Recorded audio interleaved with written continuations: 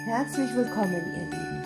Schon wieder ist ein Tag vorbei und wir öffnen das Türchen Nummer 15.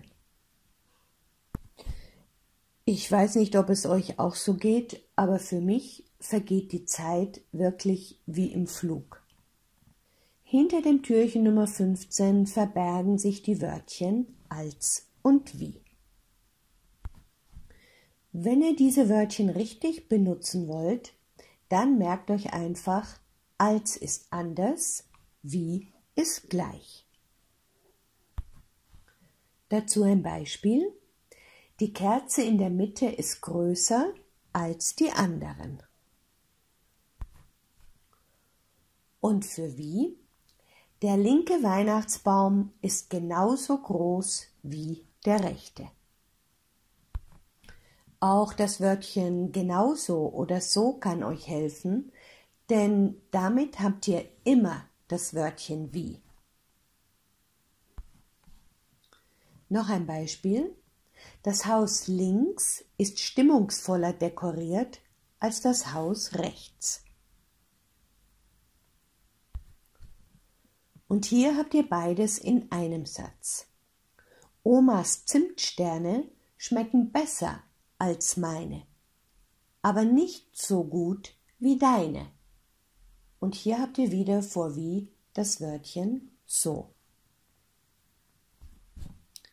Und noch etwas. Zimtsterne sind wirklich unglaublich lecker. Wie ihr sie backen könnt, seht ihr in diesem Video. Und natürlich könnt ihr gleich noch das Passiv dazu lernen. Also doppelt gemoppelt.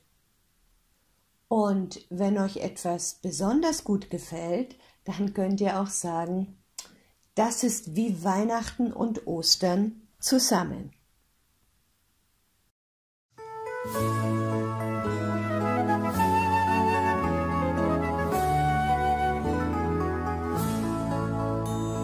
Ich lag und schlief, da träumte mir ein wunderschöner Traum.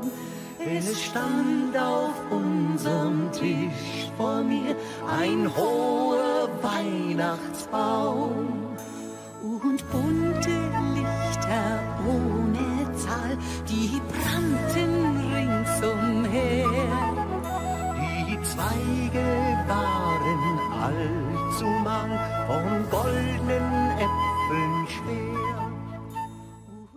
Wenn ihr Lust habt, schreibt uns doch selbst ein paar Sätze mit als oder wie in die Kommentare. Wir würden uns wirklich sehr darüber freuen.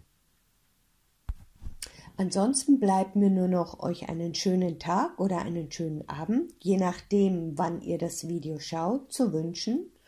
Und ich sage wieder Tschüss, Servus, Baba, auf Wiederlörge, macht's es gut, bis morgen zum Türchen Nummer 16. Tschüss, ciao, ade.